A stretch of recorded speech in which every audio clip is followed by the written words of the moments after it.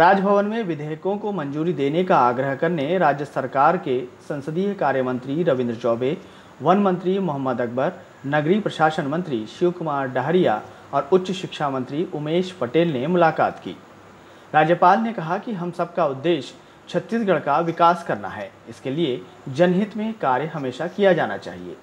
जन समस्याओं का प्राथमिकता से निराकरण करना ही चाहिए। उन्होंने कहा कि विश्वविद्यालय संशोधन विधेयक पर विश्वविद्यालय अनुदान आयोग और अन्य राज्यों की प्रणाली का अध्ययन किया जाएगा। विशेषज्ञों से सलाह लेने के बाद जो भी निर्णय लिया जाएगा, उसका उद्देश्य छत्तीसगढ़ में उच्च शिक्षा की गुणवत्ता को बनाए रखना होगा। आपको बता दें कि बजट सत्र के दौरान पारित चार विधेयक करीब चार महीनों से राज्यपाल अनुसुईया उइके के पास मंजूरी के लिए लंबित है, जिनमें विश्वविद्यालय संशोधन विधेयक भी शामिल है।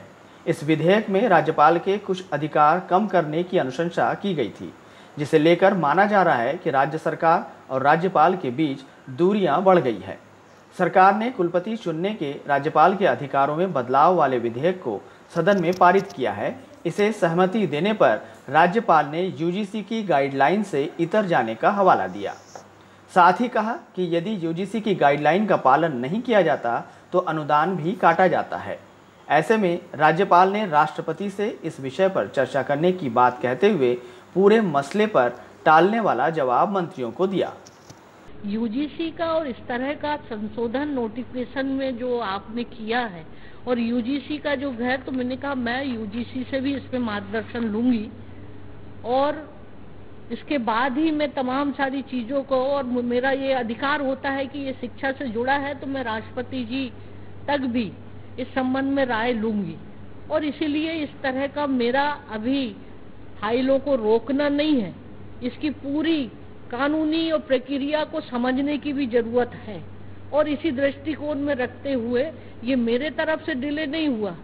चार महीने के बाद इनका जवाब आया अभी, छह दिन पहले। और इसके बाद जो जवाब आया तो उसमें भी मुझे पूरी तरह से संतुष्टि नहीं। यूजीसी की गाइडलाइन और इनमें डिफरेंस है।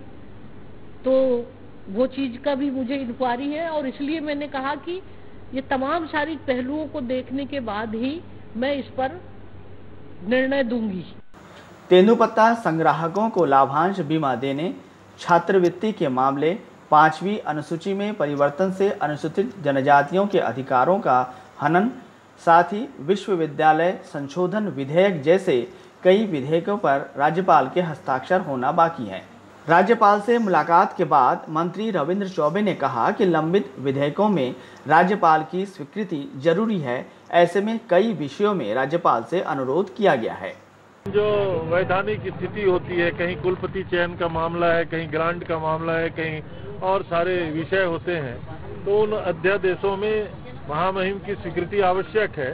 इसलिए बहुत सारे विषयों पे चर्चा थी, लेकिन हम लोग उन सारे विधेयकों पे महामहिम से आग्रह करने आए थे कि लंबित जो विधेयक है, उनको स्वीकृति प्रदान किया जाना चाहिए। इधर मंत्रियों से चर्चा के दौरान राज्यपाल ने भी सरकार के खिलाफ मिल रही शिकायतों को दूर करने मंत्रियों को सुझाव दिया।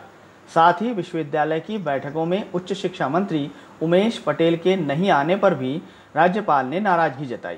इस पर वरिष्ठ मंत्रियों ने मजाकिया अंदाज में राज्यपाल से उमेश पटेल को खूब दौड़ाने की बात कही।